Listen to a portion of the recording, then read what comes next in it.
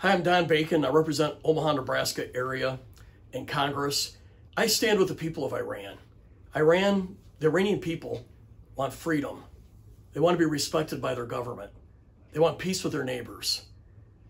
And they've been denied that by a tyrannical government in Tehran, a government that respects them in zero way or no way, who has been doing capital punishment on those who just want freedom who want equality under the law, who want to be respected by their own government.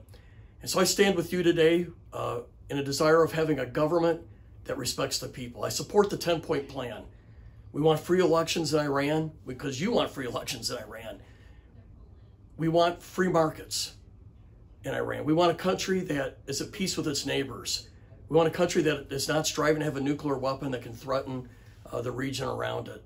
And we want people to be treated fairly and equally, regardless of their race, their religion, or their sex.